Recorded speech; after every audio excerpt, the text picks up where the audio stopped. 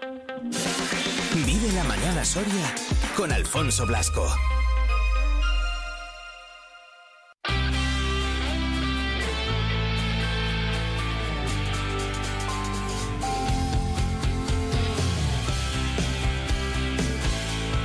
Siete ediciones nada más y nada menos que son las que van ya de este festival On Foto que decía yo antes que cada vez está creciendo más, que está teniendo y que cada vez está cogiendo mucho más calado a nivel nacional, a nivel internacional. María, te lo digo yo porque si no me lo dices tú, María Ferrer, ¿qué tal? Muy buenos días. Buenos días. ¿Cómo estás? Muy bien, muy bien, encantada de estar aquí, como siempre. ¿Te gusta la radio? Sí. Bien, alegro. Sí, Pues vente, esto- cu- vente cuando quieras. Esto, Yo tengo es- sitio esto aquí, suena mal sea. por mi parte, ¿no? Que soy fotógrafa y tal, la imagen, pero me encanta la radio.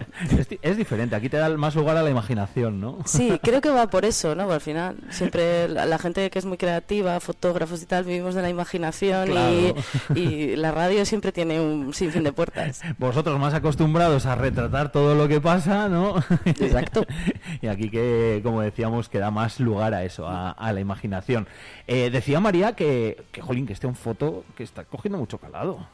Sí, la verdad es que después de tantos años de trabajo, por fin estamos viendo unos resultados muy potentes, sobre todo a nivel nacional y a nivel local. Cada vez involucramos más a la población y eso está muy bien. Eso significa que estamos haciendo las cosas bien y es un, un un paso más adelante, ¿no? De donde queremos llevar esto. Cuando viene gente de fuera, cuando gente de fuera, cuando fotógrafos de fuera, profesionales a nivel nacional se ponen en contacto con vosotros, ese es el mejor síntoma. Sí, y ya no es eso, por ejemplo, cuando tú llamas a un premio nacional de fotografía o un fotógrafo que ahora mismo está en plena actualidad y dices, oye, mira, es, eh, suele ser Juan Carlos, ¿no? Somos Sí. un foto Soria. Ah, sí, vosotros sois los de Soria. Sí, sí, que me han dicho que por ahí tenéis una cosa muy Ah, eso pues es mira, suficiente. hombre, eh, qué bueno. Eso, es suficiente, ¿no? Es, dices, vale, esto significa que estamos haciendo las cosas bien. El no tener que explicarlo.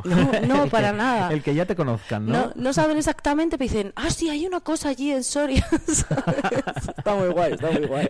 Voy a enterarme un poquito Sí, más, sí, sí, tal, no sí. sé qué, ¿no? Y ahí en adelante es cuando Sí. ya dices, pues esto es que, lo que decíamos antes, que lo estamos haciendo bien, Sí, básicamente. hombre, también es verdad que tenemos un gran valedor, que es la escuela EFTI, ¿no? Que al final siempre nos ayuda a dar con estos grandes autores, que hay veces que es muy difícil, es porque viajan mucho, tienen unas agendas muy locas. Bueno, pues eso es porque también ellos apuestan por vosotros, ¿eh? Sí, En este caso. En este caso sí.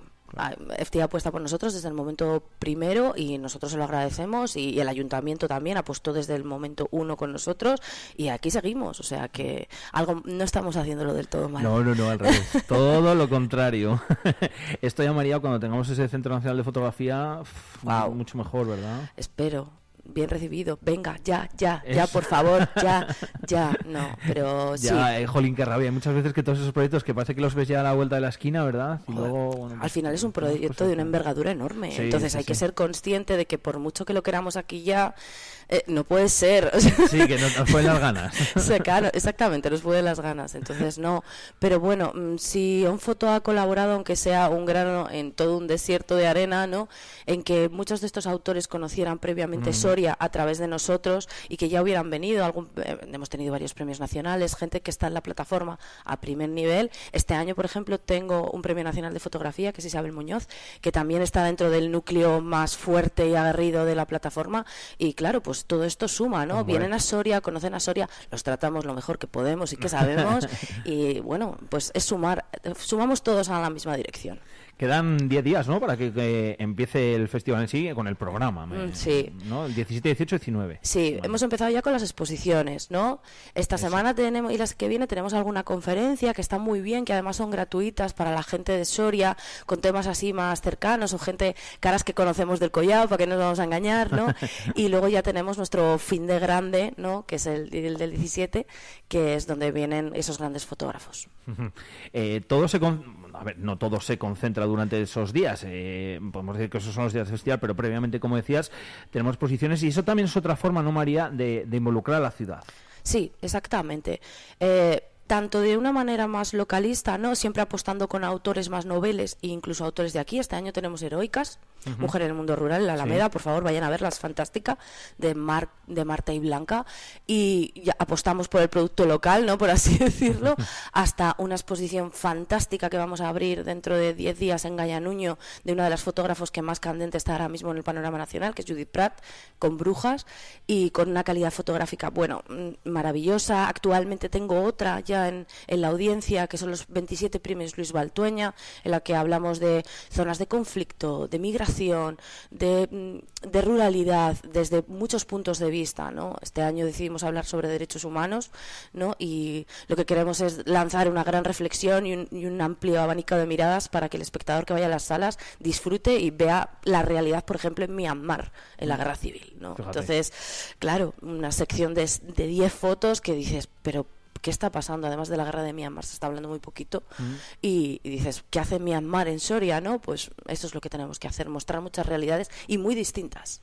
que se consiguen a través de la fotografía que podemos disfrutar en estas exposiciones que fíjate estaba yo aquí mirando en la página de On Fotosoria por cierto si entráis en la web todo lo que estamos contando aquí María y, y servidor especialmente María lo podéis encontrar ahí todo todo ordenadito Eh, estaba viendo lo de las exposiciones María y digo vale Centro Cultural Gaya Nuño Palacio de la Audiencia Alameda Archivo Histórico Provincial Plaza de las Mujeres digo si es que inundáis, inundáis Soria de fotografía Pues sí, no, no te voy O a... sea, y es que en la Plaza de las Mujeres, por ejemplo, es una exposición itinerante en National Geographic. Sí, exactamente. Ah, es que a través de la en todas. claro, a través de la colaboración con el ayuntamiento pudimos redondear porque parte de los valores del festival es siempre sacar la fotografía a la calle para Mm. esa gente que no entra en las salas porque no tiene esas inquietudes, que está muy bien, pues que vayas por la calle caminando y la foto te golpee en la cara.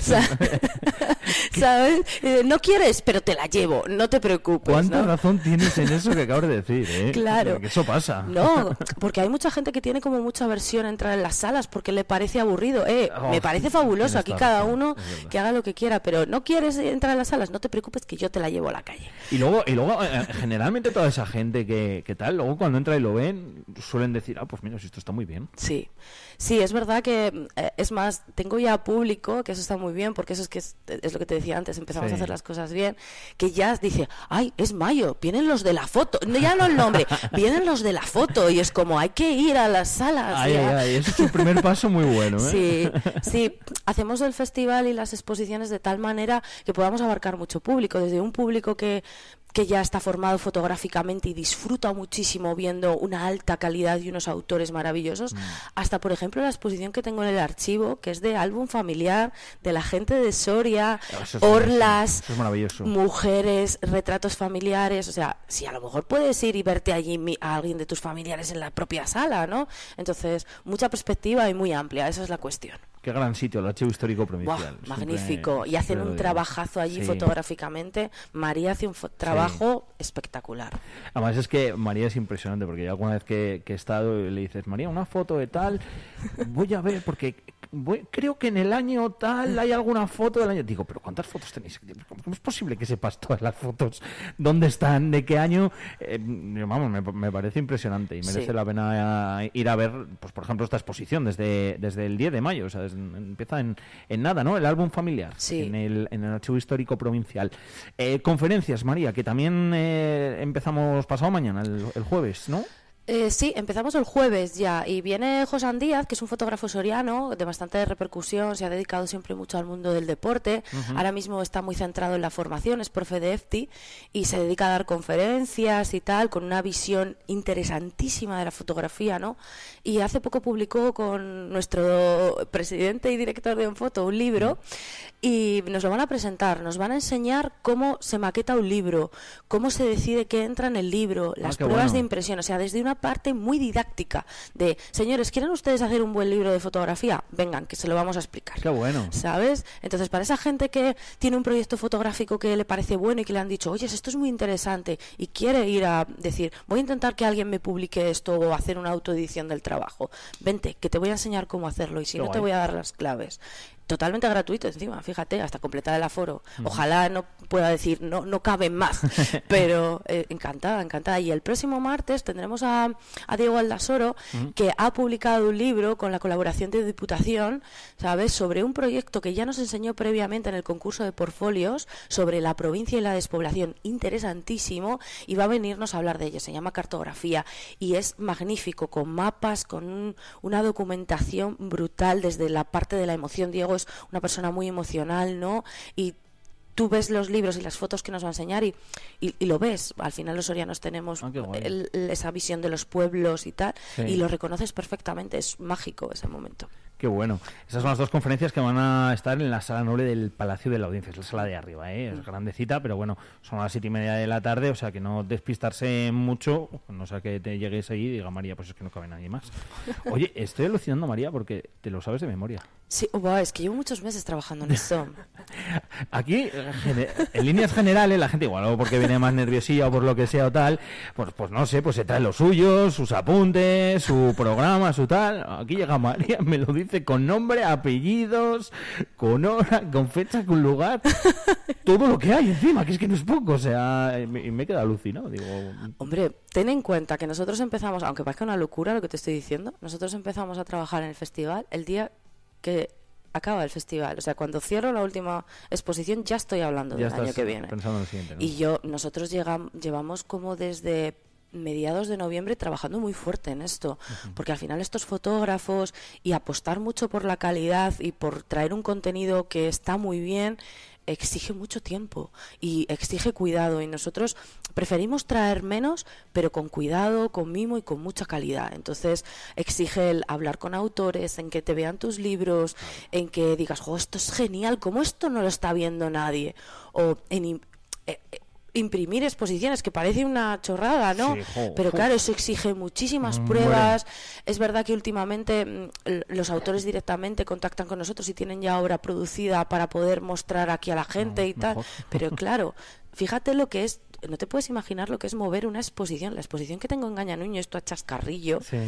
Eh, son seis cajas y la que más pesa son 130 kilos. Imagínate lo que mover eso para que, o el año pasado, las exposiciones de Recuenco. Ya necesitas logística grande. Sí, ¿eh? enorme. Seguros, transporte, que todo llegue bien, eh, hacer un reporte cuando la exposición llega para que todo esté correcto. O sea, claro, eso exige muchísima preparación. No me extraña, mira, todo eso es lo que no se ve, el, trabajo que no se ve. Claro, sí, sí. Lo que ya ha sido María fue el rally fotográfico, ¿no? Sí, buah, Tierras de Berlanga. Es la bomba, el rally.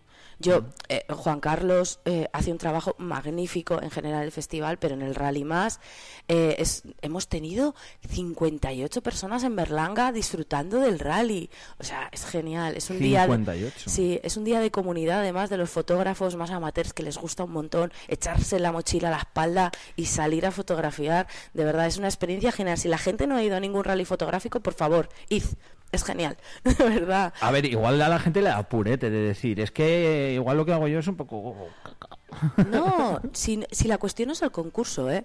La cuestión es la charla, porque los fotógrafos al final somos muy pesados, ¿sabes? Y siempre acabamos hablando de fotografía y volvemos loca a la gente. Entonces, como estás con los tuyos, no, no les importa que les hables de fotografía. ni de la cámara que te has echado, ni del ISO que tiene, ni de nada, de nada. Entonces, esos días vienen muy bien porque estás con los tuyos. Claro, esos son los buenos. y me he echado un trípode que mola un montón porque no... Es, porque mira, cómo es y tal. El, el premio y el concurso es lo de menos. Al final es una jornada. Son, 700 euros, ¿eh? Sí, el dinerito. Ojo, para el primero y 400 para el segundo. Sí, sí. Es que el ayuntamiento de Berlanga se porta bien con nosotros. no, no, pero está muy bien. Y tenemos un premio infantil para involucrar a la gente joven a que. Porque ahora vemos mucha gente joven con los móviles haciendo fotos y tal, pero eh, da un paso más allá. Anímate. ¿Sabes? Preséntate un concurso que sabéis que utilizáis las herramientas mejor que yo, ¿sabes? Anímate, preséntate. Eso, es una locura. Oye, ¿lo del móvil está acabando un poco con la fotografía? No, no, yo creo que no. No, se ha vuelto una herramienta más. En la forma de contar. Eso es lo que pienso yo. Sí. A ver, ¿Sabes lo que pasa? Que siempre tenemos el concepto del fotógrafo, el fotoperiodista, ¿no? Que se va a Mm. un- una zona de conflicto y lleva ese chaleco antibalas con el press, ¿sabes?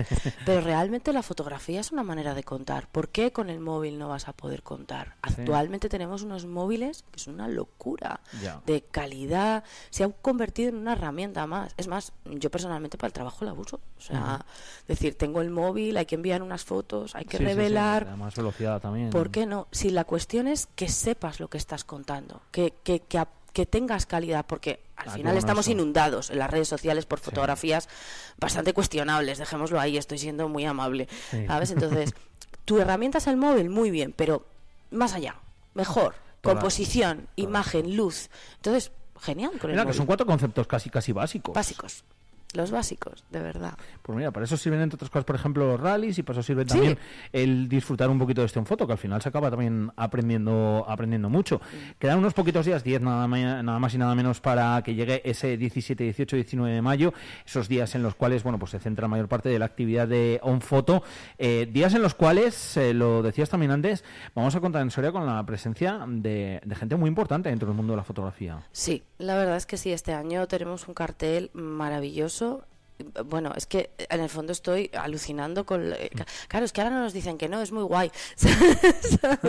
no, tenemos pues eso, mm, desde el punto de la temática de los derechos humanos, ¿no? Vamos a tener Sí. a Hanna Jadrakes, perdón, porque el polaco no es lo mío, ¿vale? Que me disculpe desde aquí, Hanna, perdona por el apellido.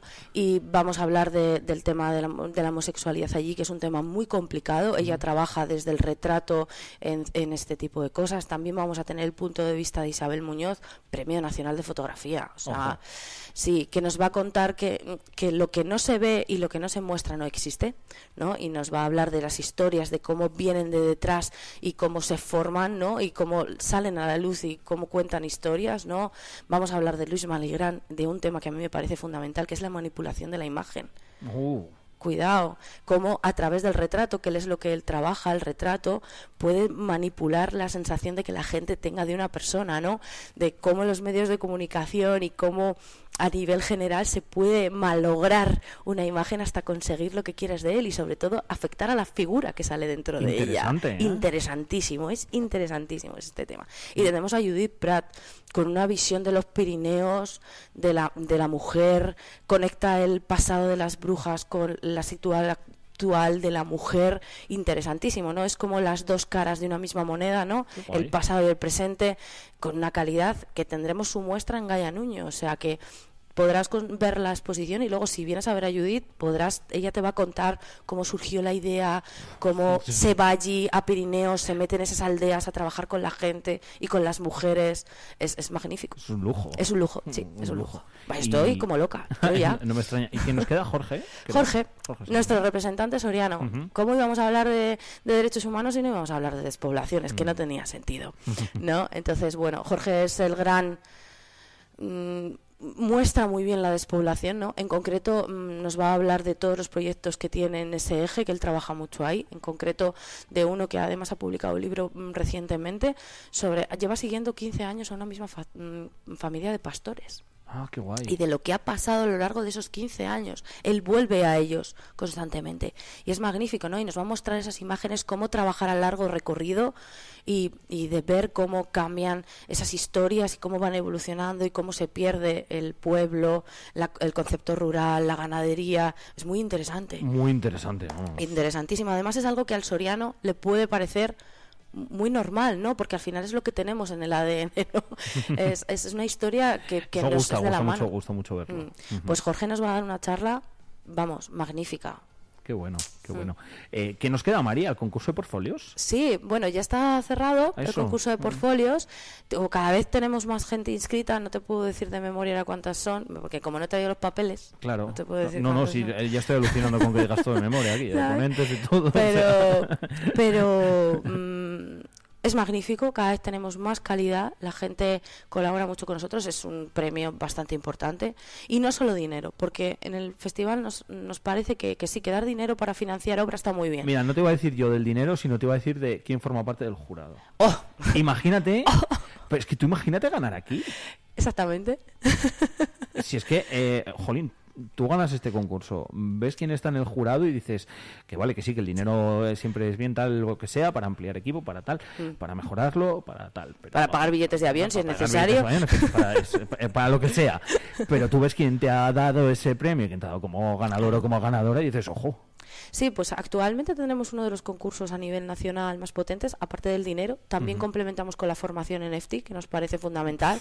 Quizás no un curso o tal, que si te hace falta el poder acudir a un profesional de verdad, un editor que te diga, oye, mira, vas muy bien por aquí, pero te falta esto, necesitas esto, esto, para los fotógrafos es fundamental.